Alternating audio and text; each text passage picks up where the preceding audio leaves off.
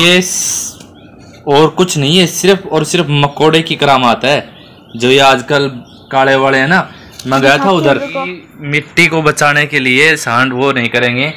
उधर गया था वो जो टीन का गेट है सामने। उधर दिख रहा होगा आपको थोड़ा सा हाँ वो दिख रहा। तो मैंने सोचा उधर से छड़ी मिल जाएगी कोई गेट खोल रहा था तो वहाँ पे मकोड़े ने काटा देखो। इतना खतरनाक यार मैं परेशान हो गया छुटाते छुटाते नहीं छोड़ा लास्ट में ऐसे पकड़ के ऐसे उतारना पड़ा उसको। हाथ से देख लो दूसरे हाथ से। फिर भी इतना मैंने देखा भी नहीं। मैं तो यहाँ आने के बाद नहीं बोले पापा ये क्या हो गया ये क्या हो गया? फिर देखा मैंने अरे खून भी आ गया। बोल। पापा ने पूछ लिया अब तो थोड़ा सा। पूछ लिया हाँ, मेरे हाथ से पूछा गया मेरे को पता ही नहीं था।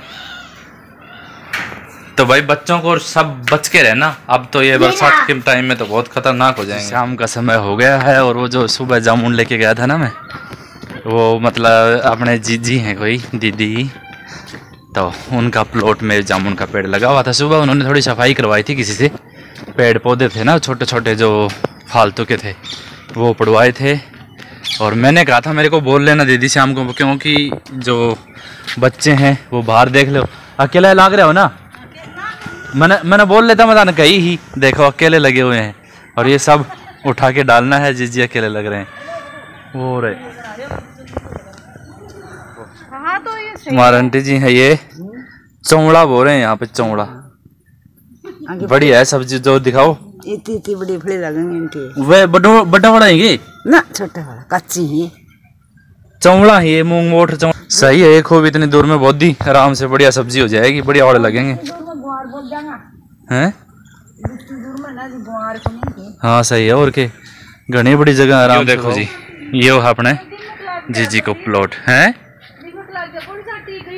और ये पेड़ अपने छांगेंगे थोड़े दिन में। इसको काट के यार वो कर लेंगे।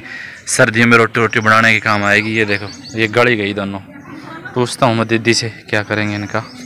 तो जी, इधर कचरा वचरा था, ये पूरा डाल दिया। और ये है जीजी के मतलब वैसे यहाँ रहते नहीं हैं जीजी। रहते तो उधर हैं उधर बहुत सारे पेड़ पौधे वगैरह लगा रखे हैं ये हमारी जीजी जीजी की तरफ़ से सबको राम राम राम राम और ये तो किराए दे रखे थे तो उन्होंने मतलब ऐसे ही हालत कर दी थी वो छोड़ के चले गए अभी। तो कचरा वचरा बहुत ज़्यादा कि चूल्हे पर रोटी बनाते थे और वो राख भी यहीं छोड़ दी थी एक जगह इकट्ठी कर रखी थी यार सब यहीं कर ऐसे ही करते हैं।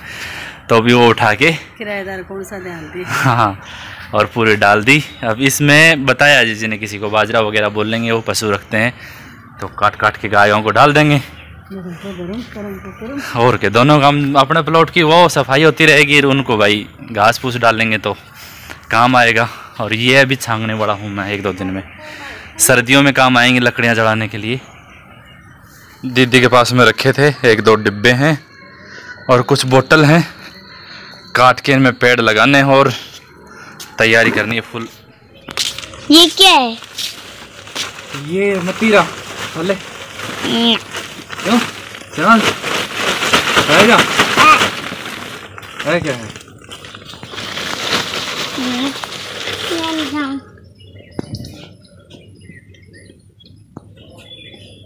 ये कचरा। इधर इसको डालेंगे। और ये बच्ची है अपने पास पूरी खाद। ये डाल देते हैं इसमें और ये डालने के बाद में जब लगाएँगे तो और खाद डालनी पड़ेगी लानी पड़ेगी और। अभी इतनी है। कहीं उधर जाए इतनी पहले एक बार, एक बार मेरे पास कमेंट भी आ रहे थे। बोले शर्मा जी आप खाद वगैरह नहीं डालते तो खाद तो हर उसमें गमले में डालते हैं।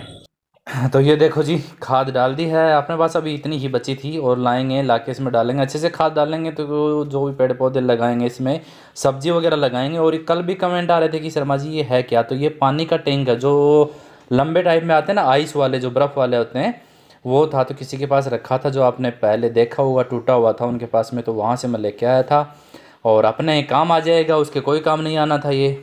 तो लो जी, सबसे पहले पूरी यूट्यूब फैमिली को मेरी तरफ़ से प्यारा सा गुड मॉर्निंग और आज ज़्यादा कुछ नहीं बोलेंगे गुड मॉर्निंग के बाद में, क्योंकि सबको गुस्सा मेरे ऊपर आ रहा है।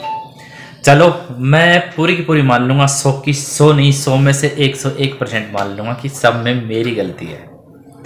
लेकिन यार, सबसे पहला कमेंट तो एक चीज़ मैं बताऊँ कि मेरे पास मान लो, कितने सारे कल कमेंट आए हैं कि शर्मा जी, आपकी गलती है।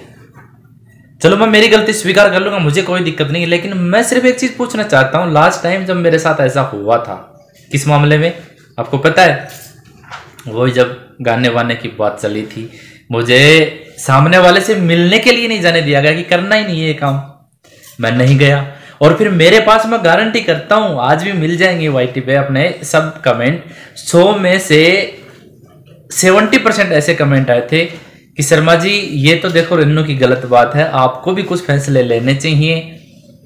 फिर हमने उस बात को किसी तरीके से समझा बुझा कि जो भी था, चलो कर दिया क्लियर अब मैं सबसे चाहे वो मेरी मतलब बहनें हैं, माताएँ हैं, या आंटी हैं, या छोटी बेटी के समान भी हैं, बहुत सारे बच्चे भी मेरे वीडियो देखते हैं।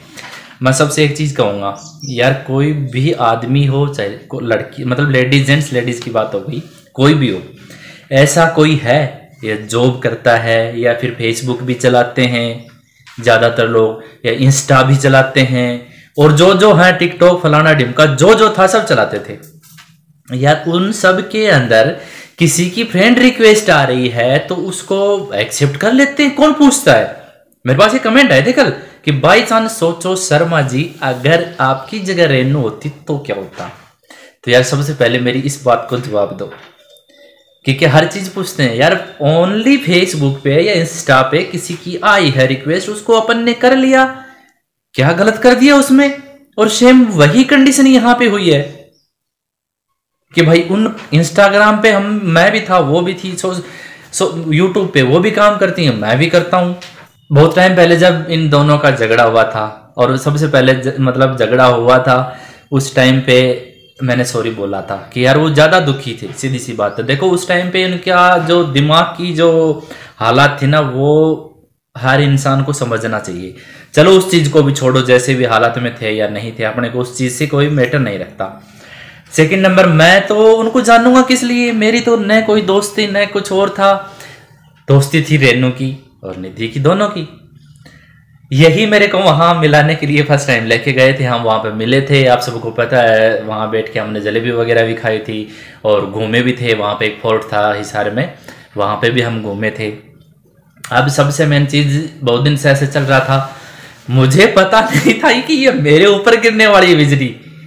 मतलब कि उल्टा असर मेरे ऊपर होने वाला है। कुछ दिन पहले ऐसे ही जब वो सबसे weight loss weight loss challenge weight loss challenge कर दी थी। मुझे भी इतना क्या पता था। मैंने सोचा अपन वेट लॉस चेंज चैलेंज करेंगे इसमें। तो इसमें क्या होगा? वो दोनों राज़ी हो जाएँगी। यार, एक फ्रेंडशिप थी, इनकी दोनों का रिश्ता था। और मैं भी उनमें शामिल था भाई। इसके साथ गया था, रेनू मुझे लेके गई थी। अब यार इसमें मेरे, मैंने तो यही सोचा था कि चलो दोस्ती, हर ऐसे किसी को छोड़ा भी नहीं करते। चलो, इन दोनों की सहेली सहेलियों की हो गई।